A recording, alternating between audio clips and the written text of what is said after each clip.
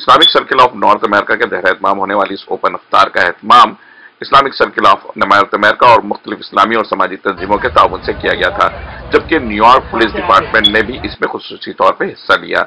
اس موقع پر بڑی تعداد میں لوگوں نے شرکت کی، جہاں مسلمانوں کی بڑی تعداد موجود تھی۔ وہیں دیگر مذاہب سے تعلق رکھنے والے بڑی تعداد میں موجود تھے، جہاں مختلف سماجی تنظیموں نے اپنے اسٹالز لگائے ہوئے تھے۔ وہیں شہریوں میں آگاہی پیدا کرنے کے لیے بھی مختلف اسٹالز موجود تھے۔ جن میں ووٹر رجسٹریشن میڈیکل کی سہولت حاصل کرنے اور انسانی حقوق کے حوالے سے معلومات دی جا رہی تھی۔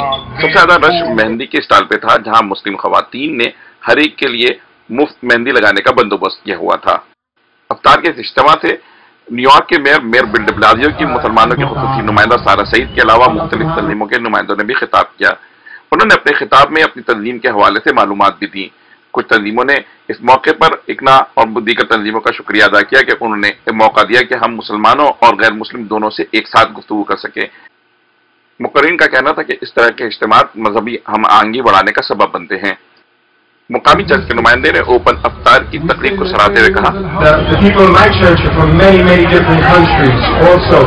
So we feel honored to have been invited to come here and share this evening with you. And thank you very much. God bless you all.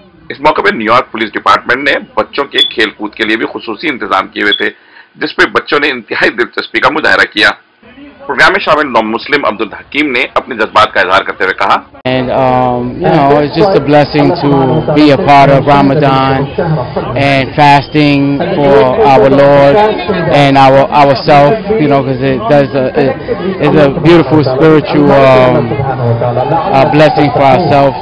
And um, الحمد للہ اس افطار کے ذریعے جہاں مذہبی آہنگی کو فروغ ملا، وہیں مسلم کمیونٹی میں مختلف حوالے سے آگہی بھی پیدا کی گئی۔ معاوض اثر صدیقی، دنیا نیوز، نیو یارک۔